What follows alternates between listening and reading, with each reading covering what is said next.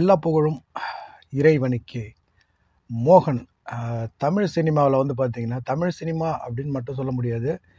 இந்திய சினிமாவில் வந்துட்டு தவிர்க்க முடியாத ஒரு நடிகர் அப்படின்னா இந்திய சினிமா அப்படின்னு ஏன் சொன்னோம் அப்படின்னா தமிழ் தெலுங்கு கன்னடா மலையாளம் இப்படி சொல்லிட்டு எல்லா மொழியிலையுமே ஹிந்தியில் படம் பண்ணியிருக்கிறாரா இல்லையான்னு எனக்கு தெரியல.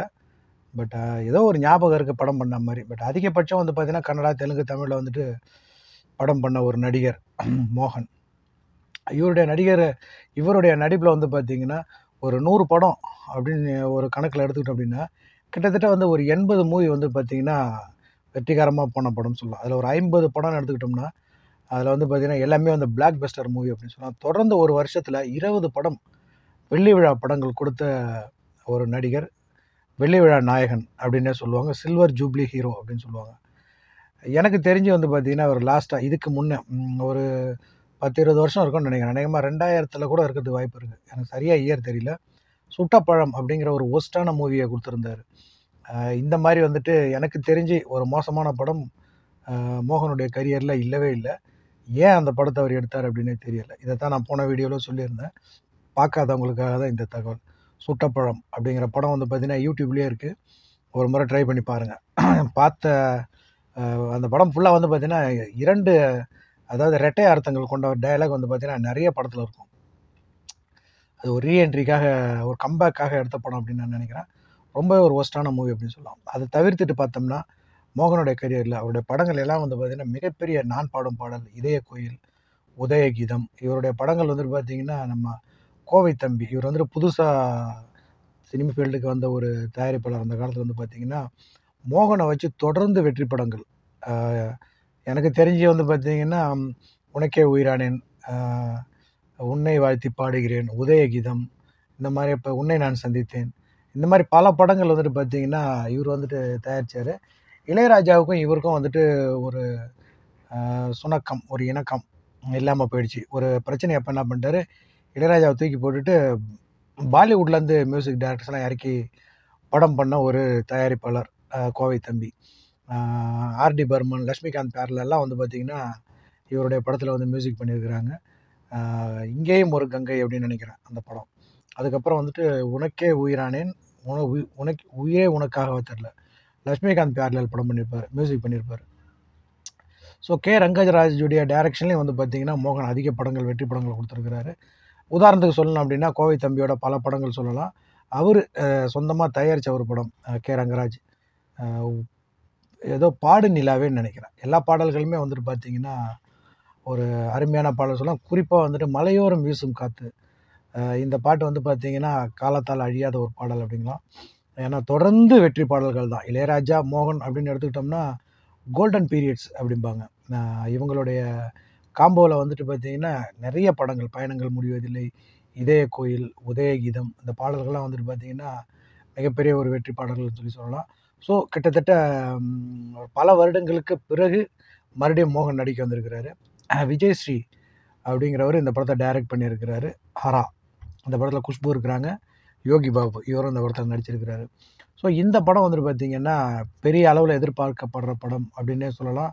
ரொம்ப நாளைக்கு பிறகு மோகன் நடித்து வெளியே வர்றதுனால இந்த படத்துடைய கண்டென்ட் அப்படின்னு பார்க்கும்போது மகளா தங்கச்சியான்னு தெரியல. அந்த சென்டிமெண்ட்டில் தான் இந்த படம் பண்ணியிருக்கிறாங்க இந்த படம் வந்துட்டு இதுக்கு முன்னாடி வந்து பார்த்தீங்கன்னா விஜய் ஸ்ரீ சாருஹாசனை வச்சு ஒரு படம் பண்ணியிருந்தாரு. அந்த படம் பெருசாக போகலை அப்படின்னாலும் சத்தா சத்யா படத்துடைய இரண்டாம் பாகமாக அந்த படத்தை பண்ணியிருப்பாங்க. கமலஹாசன் தான் சாருஹாசன் மாதிரி அப்படி காமிச்சிருப்பாங்க. இடையில கூட ஒரு படம் பண்ணியிருந்தார். பவுடராக பவராக ஏதோ ஒரு படம். அந்த படம் சரியாக போகலை அப்படின்னு நினைக்கிறேன். நிக்கில் முருகன் முதல் முறையாக வந்து அந்த படத்தில் ஹீரோவாக நடிச்சிருப்பாரு. ஸோ இந்த மோகன் படம் வந்து பார்த்தீங்கன்னா சமீபத்தில் ஆடியோலாம் வந்துட்டு வெளியிட்டிருந்தாங்க. படத்துடைய பாடல்கள்லாம் கேட்குறது வந்து பார்த்தீங்கன்னா ஒரு சுமாராக இருந்தது சொல்லலாம். பட் மோகன் அப்படின்னாலே வந்து பார்த்தீங்கன்னா பாடல்கள் தான் சிறப்பு அவருடைய படத்துலேயே. நீங்கள் எந்த படம் வேணாலும் மோகனுடைய படம் எடுத்துக்கோங்க. பாடல்கள்லாம் வந்துட்டு எக்ஸ்ட்ராடனரியாக இருக்கும். இவருடைய வாழ்க்கையில் அதிகமான வெற்றி படங்கள் கொடுத்த ஒரு இயக்குனர் அப்படின்னு பார்க்கும்போது எனக்கு தெரிஞ்சு மனோபாலா மனோபாலோட டைரக்ஷனில் நிறைய படங்கள் நடிச்சிருக்கிறாரு. அதே மாதிரி வந்து பார்த்தீங்கன்னா மணிவண்ணனுடைய டைரக்ஷன்லேயே நிறைய படம் நடிச்சிருக்கிறாரு. அதை தொடர்ந்து வந்து பார்த்தீங்கன்னா சுந்தரராஜனுக்கும் வந்துட்டு பார்த்தீங்கன்னா நிறைய படம் நடிச்சு கொடுத்துருக்காரு ஸோ இதை தவிர்த்து வந்து பார்த்தீங்கன்னா எல்லாமே புதுமுக இயக்குனர்கள் தான். நான் முதல்ல சொன்ன மாதிரி ராமராஜனும் சரி மோகனும் சரி நிறைய புதுமுக இயக்குனர்கள். இப்போ நான் சொன்ன இயக்குனர்கள் எல்லாமே கூட வந்து பார்த்திங்கன்னா இவருடைய காலகட்டத்தில் எல்லாம் புதுசாக சினிமாவுக்கு வந்தவங்க தான். மோகன் மாதிரியே சினிமாவுக்கு புதுசாக வந்தவங்க தான். மணிவண்ணனாக இருக்கட்டும் மனோபாலாவாக இருக்கட்டும் அதுமாதிரி ரங்கராஜ் இவங்க எல்லாமே வந்துட்டு பார்த்திங்கன்னா பாரதி ராஜாக்கிட்டேருந்து வந்த உதவியாளர்கள். இவங்க எல்லாருமே சவாரி பண்ண ஒரு குதிரை அப்படின்னா அது மோகன் தான். எல்லாருக்குமே வெற்றி படல்கள் வெற்றி படங்கள் தான். இது ஒரு தொடர்கதை வந்து பார்த்திங்கன்னா கங்கை மரோட மியூசிக்கில் அமலா ரேகா ஜோடியாக பண்ணியிருப்பாங்க. ரேகாவுக்கு வந்துட்டு பார்த்திங்கன்னா அந்த காலகட்டத்தில் எல்லா நடிகரோடையும் நடித்த ஒரு நடிகை அப்படின்னு சொல்லி சொல்லலாம். கௌதமி மாதிரி. எல்லாரோடையும் எல்லா ஹீரோக்களோடையும் நடித்த ஒரு நடிகை ரேகா. வில்ல நடிகராக இருந்த சத்யராஜ் அதுக்கப்புறம் ஹீரோ ஆகணும் போது ரேகா தான் ஜோடியாக நடித்தாங்க அது மாதிரி விஜயகாந்த். எனக்கு தெரிஞ்சு ரஜினிகாந்த் கூட அவங்க நடிக்கலை. பட் அண்ணாமலை படத்தில் சரத்பாபுக்கு ஜோடியாக வருவாங்க. ரஜினிகாந்த் கூட மட்டும் ஜோடியாக நடிக்கலாம்னு நினைக்கிறேன். கமலுக்கெல்லாம் கூட ஜோடியா கமல் பாண்டியராஜன் சொல்லிக்கிட்டே போகலாம் நிறைய நடிகர்கள் வந்து பார்த்திங்கன்னா ரேகா ஜோடியாக நடித்தாங்க ஸோ அந்த இது ஒரு தொடர்கதை வந்து பார்த்திங்கன்னா ஒரு எக்ஸ்ட்ரானரியான மூவி அதுக்கப்புறம் வந்து பார்த்தோம்னா பிள்ளை நிலா மனோபாலாவுடைய டைரக்ஷனில் மணிவண்ணனோட டைரக்ஷன் எடுத்துக்கிட்டோம்னா நிறைய படங்கள் சொல்லலாம். குறிப்பாக சொன்னோம்னா நூறாவது நாள். அதேமாதிரி சுந்தரராஜனோட டைரக்டரில் பயணங்கள் முடிவதில்லை மெல்ல திறந்தது கதவு. இந்த மாதிரி நிறைய படங்கள் சொல்லிக்கிட்டே போகலாம். ஸோ இவருடைய காலகட்டங்களில் வந்து பார்த்திங்கன்னா இவங்க எல்லாருமே வந்து புதுமுக இயக்குனர்கள் தான். ஸோ பெரிய இயக்குனர்கள் அப்படின்னு சொல்லி பார்க்கும்போது பாலு மகேந்திராவுடைய அவர் கூட வந்து பார்த்திங்கன்னா ஒரு புதுமுகமான புதுமுகமாக வந்த ஒரு இயக்குனர் தான். அவரு கூட வந்து பார்த்திங்கன்னா ரெட்டைவால் குருவி இன்னொரு படம் போன தடவை சொல்லும்போது கூட அந்த படத்து பேர் எனக்கு தெரியல. இன்னொரு படம் கூட பண்ணியிருக்கிறாங்க இவங்க ரெண்டு பேரும். ஸோ இந்த தொடர்ந்து வந்து பார்த்திங்கன்னா நிறைய வெற்றி படங்கள் கொடுத்த இண்டஸ்ட்ரி இண்டஸ்ட்ரி ஹிட்டு கொடுத்த அந்த காலகட்டத்தில் வந்து பார்த்திங்கன்னா மோகன் அப்படி சொல்லலாம். இவருடைய காலகட்டத்தில் வந்து பார்த்திங்கன்னா ரஜினி கமல் படம் வரும் வந்தது அப்படின்னா கொஞ்சம் யோசிப்பாங்க. இந்த நேரத்தில் படத்தை விடலாமா? படத்தை விடக்கூடாது? அப்படிங்கிற மாதிரி. ஏன்னா வந்துட்டு போட்டி போட்டுக்கிட்டு படம் போகும்.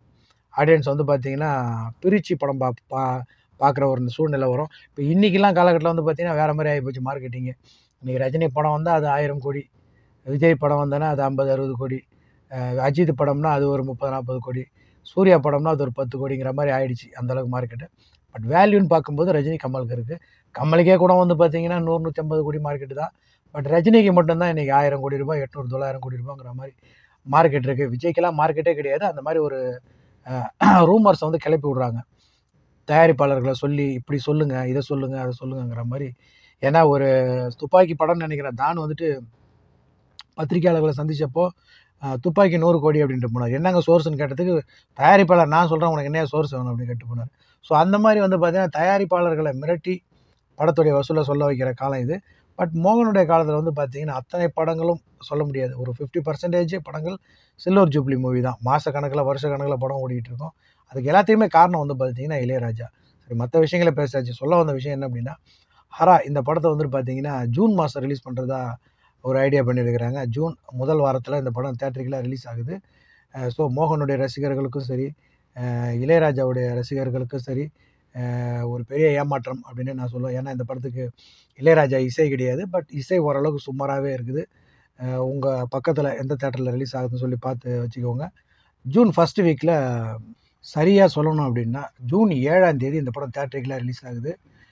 ஸோ மோகனுடைய ரசிகர்கள் இளையராஜாவுடைய ரசிகர்கள் மோகன் இளையராஜாவுடைய ரசிகர்களுக்கு இந்த படம் ஒரு ஏமாற்றம் தான். ஏன்னா இவங்க வந்துட்டு மோகனை வந்துட்டு நடிக்க வைக்கணும்னு முடிவு பண்ண உடனேயே இளையராஜா மோகன் வந்துட்டு காம்போவில் படத்தை பண்ணணும் அப்படின்னு வந்து முடிவு பண்ணியிருக்கலாம் ஏன்னா இன்றைக்கி இருக்கிற காலகட்டத்தில் இளையராஜா ஒன்றும் பெரிய சம்பளம் வாங்கிட்டு போகிறது கிடையாது கேட்க போகிறது கிடையாது. அதுவும் மோகன் அப்படிங்கும்போது வெற்றி பாடல்கள் எக்ஸ்ட்ராடனியான பாடல்கள்லாம் போட்டு கொடுக்குறதுக்கு நிறைய வாய்ப்பு இருக்குது ஆக்சுவலாக மோகன் வந்து படங்கும் போதே இளையராஜாவை தான் புக் பண்ணியிருக்கணும். அது மிஸ் ஆகிடுச்சு ஸோ இளையராஜா மோகன் காம்போ எதிர்பார்க்குற ரசிகர்களுக்கு இது ஒரு ஏமாற்றமாக தான் இருக்கும். மற்றபடி இந்த படத்தில் பாடல்கள்லாம் சுமாராக இருக்குது. ஏழாம் தேதி ஜூன் ஏழாம் தேதி இந்த படம் தேட்டருக்குலாம் ரிலீஸ் ஆகுது. உங்கள் ஏரியாக்களில் எந்த ஏரியாவில் எந்த தேட்டரில் இந்த படம் ஓடுதுன்னு கேட்டு விசாரித்து வைங்க. மறுபடியும் ஒரு ரவுண்டு மோகன் வர்றதுக்கு நம்மளுடைய வாழ்த்துக்கள். அவருக்கு வழக்கம் போல் ரசிகர்களாகிய நீங்கள் அவருக்கு ஆதரவு கொடுக்கணும் அப்படிங்கிறது தான் நம்முடைய வேண்டுகோள். எல்லா புகழும் இறைவனுக்கு.